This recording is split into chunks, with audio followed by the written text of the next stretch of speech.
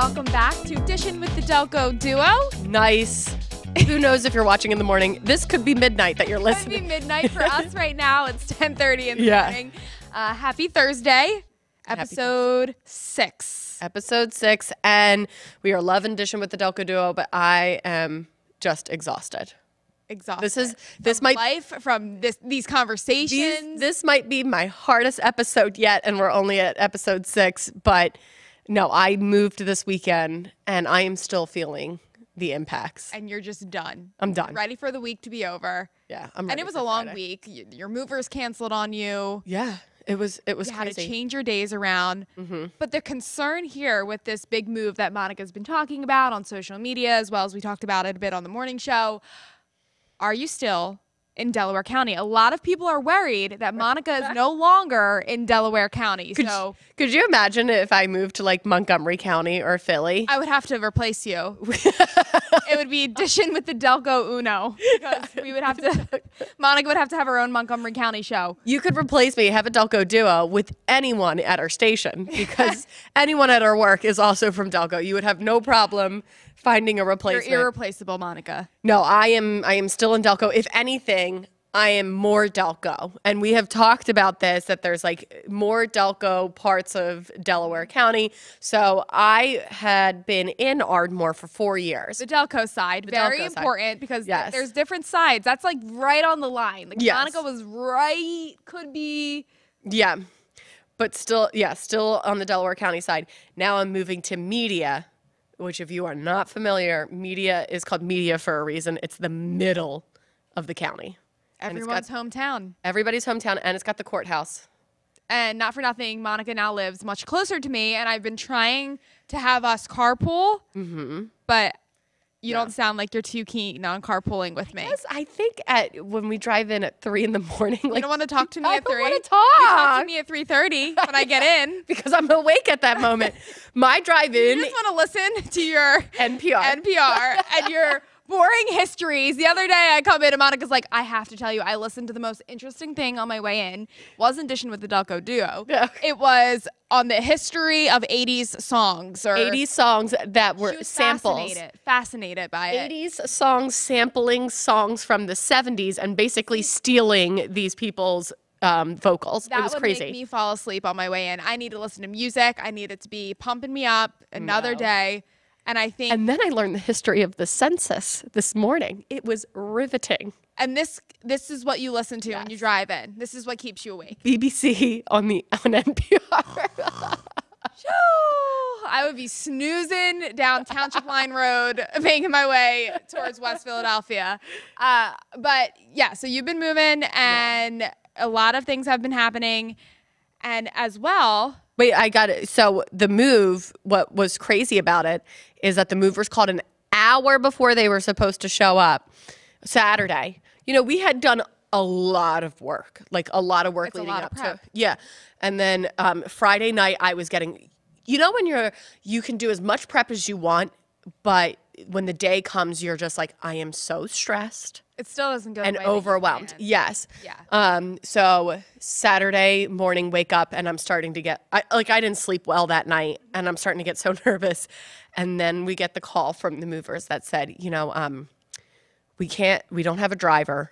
We need to reschedule you for Sunday. We had, I don't want to call her a babysitter, but my um, my brother's wife was coming over to take care of Joe while we were doing this. Everything was lined up. Yeah, everything. And then all of a sudden we had to put a screeching halt to it.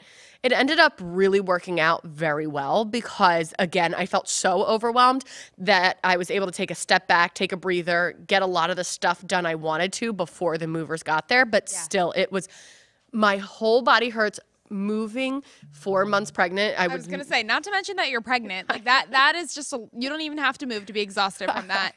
So it's it's like I wanted you know when you want to keep going you're like oh I really need to unload this or I need to Yeah. do that You but it was couldn't. I physically You at said you listened to your body. Your body said no, Yes. and that's what I do every day before I, if I want to exercise. My Mm-hmm. body says no, and I listen to it how many times a day does your body tell you no every day. Every time I'm Every thinking second. about putting my sneakers on, I'm like, my body tells me no, and I have to listen to it. I don't. I don't make the experts- rules. nope I'm still a Delco resident if anything Thank goodness, because again, I would have to replace you. yeah I would never do that. No, I I'm Ever. still Delco at heart no matter what. But You've been with your parents a lot as you've been they've been helping you move and your dad was kind enough Yeah. to pick up something for us. So He- he explain got- what we have and what you wanted because this is not what you This is wanted. not what I asked my dad. Uh, so he goes, uh, "Hey, girlfriend." That's how he answers the phone. Uh, I'm go- I'm gonna go pick up more fruit for the house. Do you want anything? I was like, "Yeah, Tastykake." Fruit and tasty cake. Tasty- Very similar. So he did the best he could, and he got a mix of fruit and Tastykake. This is a um, baked pie. They're pies. That's not what I wanted. I wanted like a Krimpet. But no, you Cupcake. wanted you wanted the peach cobbler uh, donuts that are new. Yes, seasonal. So I thought, oh, let's give a seasonal try because every time we talk Tastykake, I'm always straight up Krimpets. You're always Original yeah Kandy Kakes. Kandy Kakes, and we just go with the original, like the real good Yeah. um, sugary stuff. And I said, Dad, oh, let's try the seasonal stuff. Can you bring this home? And he this brings what he home, these pies. Like, I'm sorry. there's no- Are we 80 years old? This no- is what 80 year olds eat. Purpose to this? We just wanted to try the new ones. So now We we're got to expand our instead. horizons. Oh, wow, Jen is eating with a hard. fork. I don't know if I'm gonna like this, honestly. I, I think you're just, well, you just got it crust right there. You got to get some. Mm-hmm. okay. I'm going to break this in the middle.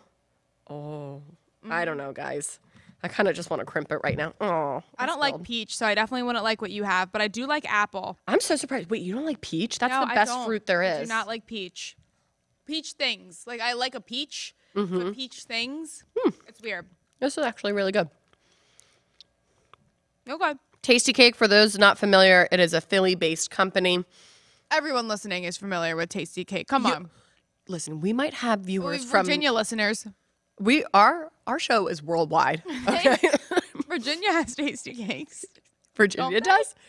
No. I feel like they travel. Well- They've ha- someone, people in Virginia have had had a Tastykake before. no, they're like straight up Entenmann's. They're like, why would you? I don't. I, I don't. If you're one of our Virginia listeners, because we know you're out there, write to us, please. I don't know. Virginia. That's it. It's. If it's you're wondering how we know that, it's because we're on Spotify and we can see the location of people downloading us, yeah. and it has been Virginia. So Yeah. That um weird. Virginians. That weird Virginia town that sounds like a curse word. so I'm not even gonna say it. It's I spelled know Nor. what it is. It's. It sounds like Norfolk, but it's it's the other bad. It's why do they do that? Why do they do that? Do they just think it's funny to make us all curse? I, I I could not tell you. I think that it was made well beyond people using the F word. Uh, are you sure? Well, I think they all. we I need think need to go back to the origins of the F word, and I don't I don't know when that started. Uh, you don't know the origin of the F word? No. Oh, there, there's an origin. It's the king. It was sanction. Uh, uh, I think, I believe this is it. The word, no, he listen. Anything you're about to say? Consenting from the king, it was when you could, the king would tell people that they could have Yes. sex with one another. Why did we go down this path? I think it was fornicating under consent of the king. Oh. Mm-hmm. That is so interesting. and that's where that word came from. It was actually like a legit word. I I am not a historian. I I might Did be. you learn this on one of your car rides in? Did you, did you listen to this on your way in and now this is what you learned? I I'm gonna go Google that now because that was one of those things I learned in like middle school and it, I always kept with me. I never Learned went. that in middle school. Yeah. Oh, yeah. You know, middle school. The people talk about the weirdest things. And now that I'm thinking about it, it could be totally false. I had just always thought that's what that word meant. Okay, well, we have our phones, but we can look that up later on. Fornicating under consent of the king. We'll just go with that for now. All right. Wow, this has really gone off the rails. We're nine minutes in and we're talking about the king's consent. Okay. Let's get to our issues this week. Thank you, as always, for submitting them. Yep. Uh, we got a lot of significant other problems this week, which I feel like is dominant. you you always got a problem with your wife, your girlfriend. I mean, you spend the most time with them. I don't think it's reflective of anybody's relationship to submit a problem. It just means you're a normal couple that's having an issue. Yeah. And God knows, I every week I I turn to Jenna. I'm like, Jenna, do you have a problem that you would like to talk about? And you're like, eh. And I'm like, because I do. So so if you don't have anything, we'll just talk about my issue. I just block them out after they happen. I'm like, I'm never going to think about that again. All right, Yari from Yeadon. My girlfriend burps. Part one. This is a two part problem Mm-hmm. and does not like Star Wars. Yari, Yari from Yeadon. Yari, I think you need to get over the burping. Everybody burps and it feels good. Just ask Jenna. yes, about 10 minutes before we actually came on, I forgot that I was at work and I just let out a huge burp. And it felt, uh, I think I lost 10 pounds. And I Monica felt was good shocked. for her. I was I was quite shocked and then I and then I said to her, I was like, that sounded like it felt good. It did feel good. It was one that, you know, came from came from the soul. Yeah. I don't have an issue with I mean, if you're burping every 5 seconds and you're really aggressive about it and loud or in my face, that's when it's a problem. But if you're burping, you're that's your body. You're doing it. Yeah. And, and you're probably feeling really good right after that. Right. So and are you burping, Yari? Like, what's the double standard here? Are if your girlfriend bur- is not allowed to burp, then you're not allowed to burp either. do they smell? That is the question. That's where that's where I draw the line. I don't get close enough Yep. to smell them. But I will say, like, if we're at the dinner table and Tate Oh, burps, no. that drives me crazy. oh yeah, no, you're not allowed to do that at the dinner table. You that's not allowed. Or if he does, like, No cursing, no cursing and no burping. burping. What's that? What's that saying? No cursing, no burping, no. I forget. I don't know. No know. cussing, no something. Anyway. I don't know what saying you're trying to say, but Tate will do this thing where one burp comes out and it's like when you sneeze, you know, when, Yeah. when Monica sneezes, You know, there's one in the chamber. like, five more that follow, all of them very aggressive, like, ah, achoo. so we'll hear them on the air. She'll do them on the air. I have to release. So I don't when I when I sneeze, I'm not holding back because if I hold back, then I feel like there's still left. There's still some. oh, well, they're always left because they're consecutive. Yeah. So your sneezes I are kind of like how Tate will burp. Uh. so that bothers me. So Yari, if your girlfriend is like burp, burp, burp, burp, burp, that's Wow. a problem. If this is like a burp every once in a while, I also burp's hate the word burp. I just said it so much that it So much started sounding that I weird. just was like burp, burp, burp, burp. Okay, and then the part that she does not like Star Wars. Star Wars is not for everyone. I've never seen it, nor do I like it because of how much people talk about it and how much we talk about it. We do talk like about it a lot. I'm sure show. it's great. I'm sure it's amazing. it it's really fun combination especially the the originals like they were there was fun there was funny some comedic timing in it all uh action a little bit of romance but i'm not into like a ton of romance in a movie so you know a quick kiss here and there is great Surprises me because everything else in your life revolves around romance. i like romance for romance i don't like it Okay. in an action movie You don't want like you don't want Star Wars to be having romance. Yeah, I don't want it to overtake the storyline, and it certainly in Star Wars does not overtake the the storyline. Even the Rey and Kylo Ren um, storyline, talking a different language to me. I Never seen it. I love their love, and and I don't think it overtook the story. Maybe I'm wrong. I, I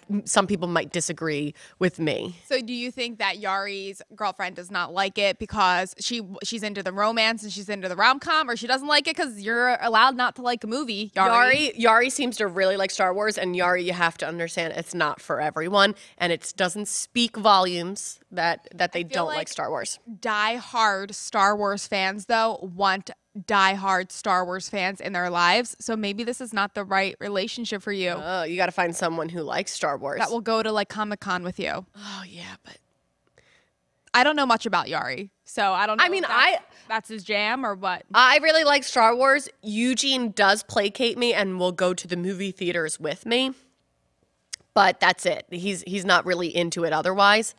Um, so you don't you don't all have to have the same interests. You know, you can have some differing ones. Yeah, but it sounds like if this is a problem in the relationship, then it's a big deal. Yari, it's okay. Star Wars isn't for everyone. Okay, next topic Allie from Aldan. My fiance never makes the bed or puts away laundry. Ay, ay, ay. We've have a, we have a lot of two part problems today. Like I feel like these are two separate problems, but they come back to like neatness and cleanliness, I guess. Right. So they they have a common theme um, It takes time to train. to train. it's it's horrible to say. And it's not. It's it, maybe training is the wrong word, but just to Preference. Yeah. What you like. Everyone likes their bed made though, so that's why I don't. not understand. everybody cares enough. So um, I make my bed every day that I can. Well, that's what I was gonna say. For us, we're not gonna make the bed with. No, with someone sleeping in it. So, so in that case, and then Eugene does not make the bed. He does not. No, he does. Tate make the bed. Yes, he does. He puts the pillows up. I have all these Is that because pillows. you told him, or he did that before you guys Oh. started dating? No, we he would never make the bed. His room was an absolute mess when I met him. Borderline Wow. horrified when I saw his How? clothes everywhere.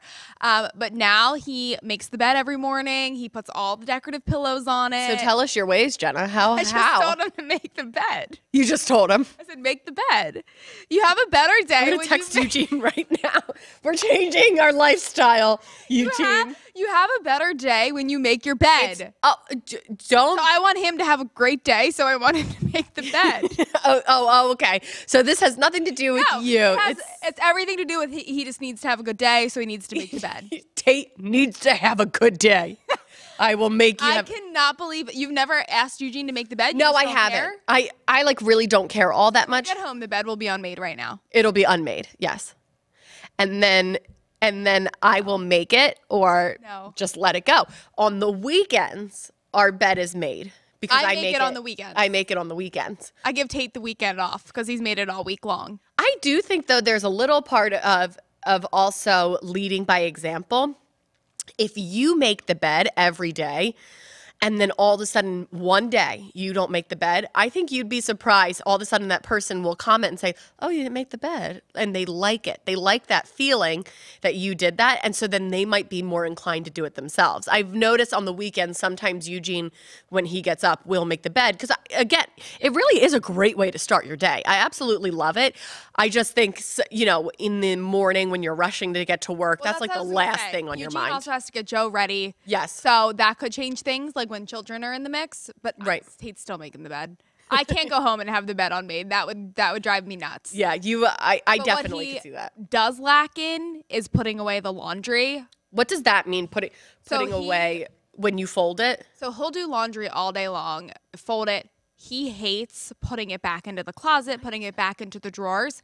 And he claims that since he does his laundry most of the time, like if I do it or Yeah. he does it because he needs something and I wasn't going to do laundry that day, he claims that I'm sleeping for our work schedule. So he doesn't want to make noise around the room, which makes sense. But then it sits there for like four days. in his laundry basket, and then his dirty laundry is just piling next to it because he hasn't put it away. Oh no! So that that is something that I can totally agree with you, Allie. And you know what? I'm not putting it away. I don't want to put your laundry away. No, but but it is really essential to put the laundry away. I have seen memes all over, and it's like, you know, um, f- takes me 15 minutes to fold laundry, and it takes me all week to actually put it away. I that I don't get. I will sometimes fold my laundry at night, Uh-huh. and then just be so tired that then uh, I'll just leave it until the next morning. But the next morning, it's it's put away. Yeah, because I- I got to use that basket. I do it right away. Wash, fold, put it away. But then again, our schedule's different. We're home during the day, so you know we have more time to do that. I can understand why.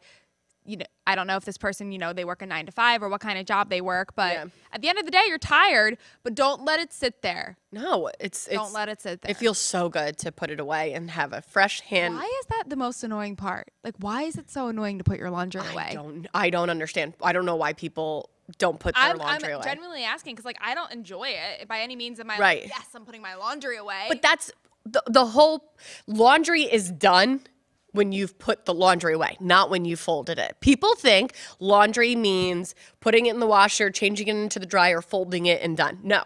The last part to a laundry task is to put that away and hanging. I think that's the other thing is to put it away. You've got like 18 different drawers, sometimes in Yeah. different locations in the house, and then, you know, then you have to hang some of the clothes. well, Tate's problem this I week actually hanging. was he was putting his laundry away and all of his hangers were missing. I had some clothes that I had ordered and I didn't have hangers, so I took his and hung my clothes up with them. And he's like, I have nowhere to put my pants. Deal with it, go buy some new hangers. I was like, okay, I'll get I'll get more hangers. But my advice would be you don't put it away, Allie. don't put it away for him because that's just not going to then he'll just figure oh i'll never have to put my laundry away Yeah. but you got to you got to softly encourage are you gonna put your laundry away Oh, say, I, I'm glad you're saying softly because I would, Allie, what I would do is just outright say, you have to do this. You, if you are the last person out of the bed, make the bed every day, and and you know, you don't do that in your own I don't because I don't really care all that much. do as i say not as i do I don't really care all that much. I'm like, I really don't care coming home to an unmade bed. It doesn't really affect me all that much. Um, I do like to do it myself. Like that's how I like to start my day if I could. Um, also, quick, do you have the same hangers or do you have like differing hangers? like for different clothes or tate and i have different Just like you know hangers? how there's some hangers that are plastic, some that are felt, some i don't that like the felt ones I love felt. I don't like felt. They're too sticky. And like when I just want to grab a shirt, it like takes like forever to take it off. Oh, I love it makes your your clothes you don't have those like shoulder bumps. I do not like I have like one felt hanger that I have a nice dress on. Other than that, I use all all plastic ones. And then do you give Tate the bad hangers? Because I give Eugene all the bad hangers, and then he gets so What irritated. constitutes a bad hanger? Like a Like- dry cleaning hanger? Dry cleaning hangers. um, So sad. some of the ones that you got from the store Yeah. that the clothes came on. it has like the size on the top. Yeah. yeah. Um, I would be lying if I said Tate didn't have a lot of those hangers, but I use them too. I'm not I'm not a hanger snob. Like I don't really Oh, care. Eugene gets so annoyed because I. You're I a take- hanger snob. I- Felt I'm- ones are bougie. I love felt hangers. If if if I could afford them, I would buy more. Yeah. But like after a while, you know, it's it's I'll just keep using the the ones that we have. So I don't I don't have only felt. I have like a mix. Right. Um, but most of the time when it comes to folding laundry and putting it away, I give myself the nice, Nice ones. hangers. Yes, of So course. by the end, You're end, doing I- the work. It's your it's Yeah. your reward. exactly. And then one last piece of advice, Allie. Maybe if he's not putting his laundry away, put it on his side of the bed. Because then, what's he gonna do? Get into bed and knock it all off? And then you're- you're- forced to put it away That's like two birds, one stone, right there. Yeah. You know, and then you're you're you're saying make your bed and put your laundry away. Put your laundry away, and you know what? It'll make us happier. It'll make us. Uh, Happy wife, happy life.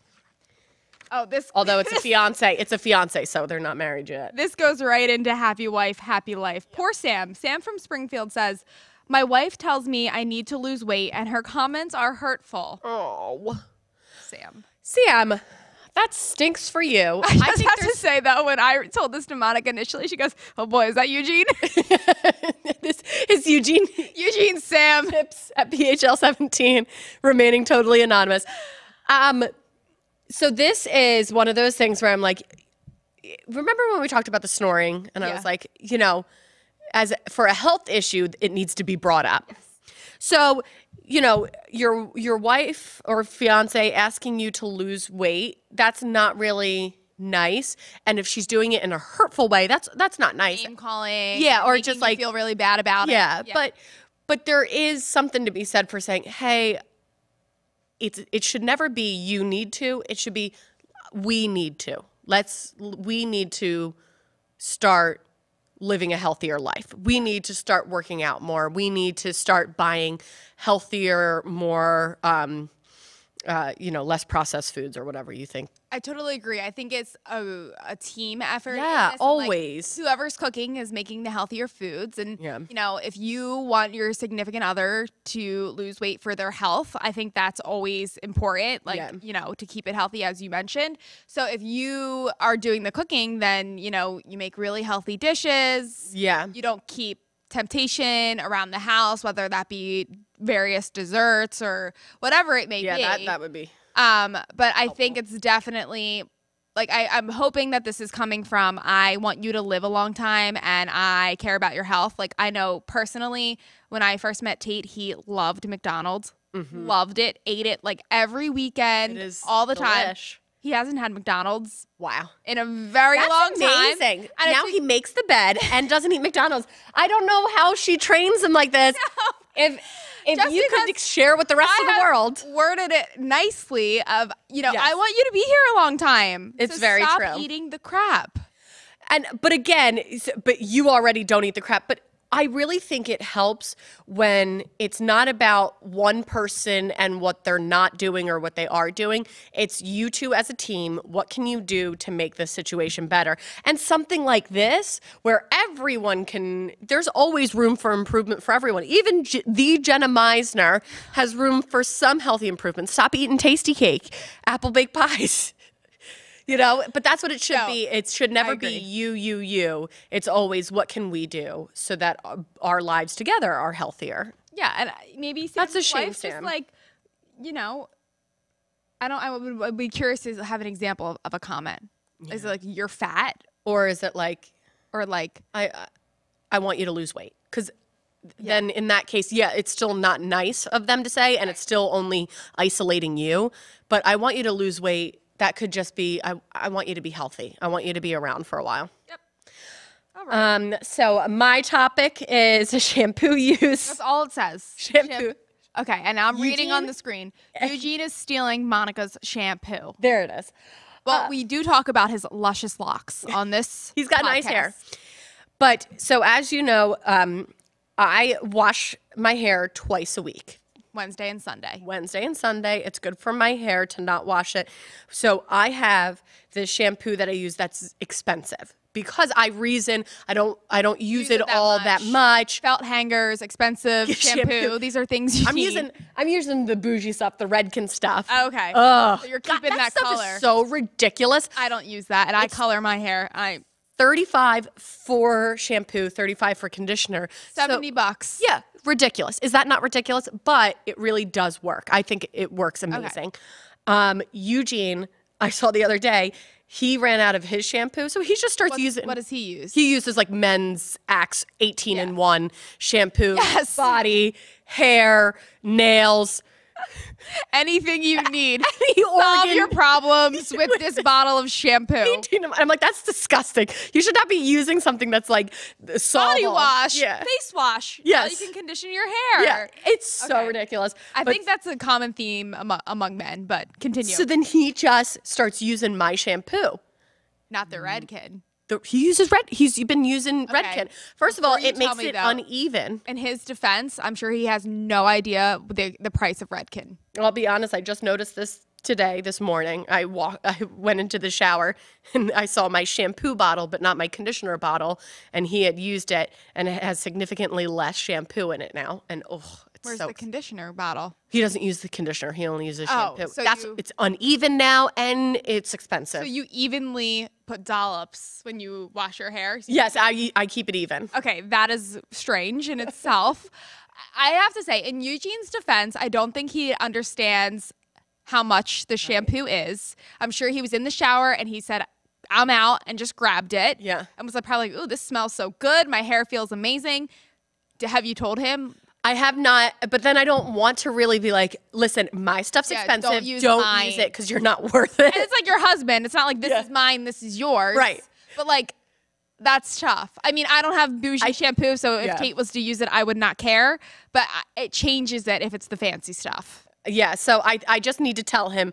I just wanted you to know that I was like, oh my gosh, he's No. using my shampoo. Don't use my shampoo. Yeah, I I could definitely feel that way, but you you need to tell him, you know, this is seventy dollars. You you just used a thirty five dollar. I don't even think you're using it and understanding its worth. Yeah. You need to. probably got it all over the ground. Yeah, he probably was like, "Rah, rah, rah," and then he and then he went and washed his chest with it because that's what men do. They they put it in their hair and then they wash their chest. I'm like, this is this is too many body parts you're washing with one item, Yeah, buddy. It's so Tate and I use completely separate products. Oh my so God. and he gets Men- like the gallon of the uh, two in one shampoo conditioner, Yeah. so he's never out. Eugene's three in one. out. It's body, hair, and conditioner. That is that's not right. um. not right at all. So I I will I will have to tell him um that he he should Stop not be using, the yeah. expensive shampoo. Okay, you can submit your problems. We always appreciate them. We love them. Monica PHL17, Jenna PHL17. Or Jenna Meissner TV on Instagram. We always have that little question box where you can submit them. That's my favorite way. I know it's great. We always have some really fun one, really interesting ones.